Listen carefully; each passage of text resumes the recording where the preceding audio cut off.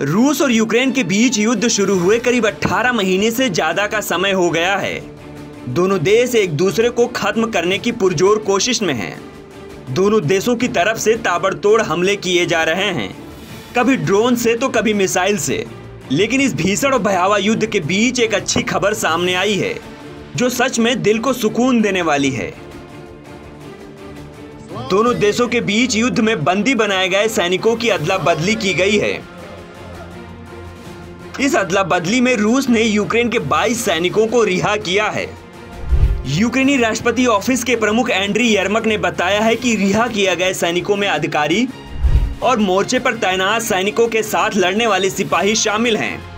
Telegram video के अनुसार रिहाई के बाद अपने देश के कुछ यूक्रेनी सैनिकों को नीले और पीले यूक्रेनी झंडे की तस्वीरें खिंचवाते हुए और यूक्रेन की जय चिल्लाते हुए देखा गया है। यूक्रेनी राष्ट्रपति ऑफ़िस के प्रमुख एंड्री ने ट्विटर पर एक वीडियो भी शेयर किया है जिसमें रिहा यूक्रेनी सैनिकों की खुशी देखी जा सकती है। अल जजीरा के अनुसार यामरक ने कहा है कि आज हमने रूस की कैद से 22 यूक्रेनी लड़ाकों को वतन वापसी करवाई है।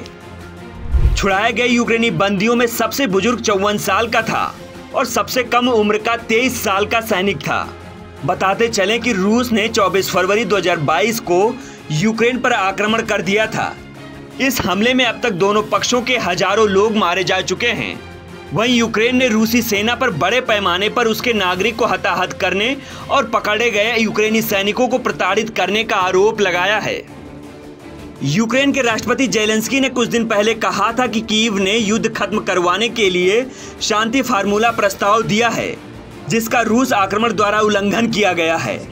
जेलेंस्की ने ट्विटर पर एक वीडियो संदेश पोस्ट किया है, जिसमें कहा गया है कि शांति वार्ता के लिए कुल 42 देश एकजुट हो गए हैं। हर देश अंतर्राष्ट्रीय कानून को लागू करवाना चाहता है। जेलेंस्की ने वीडियो में आगे कहा कि आज हमारे अंतर्राष्ट्रीय प्रयासों के लिए एक और सक्रिय दिन रहा। हमारी टीम सऊदी अरब के जेद्दा में शांति फार्मूला पर काम कर रही है।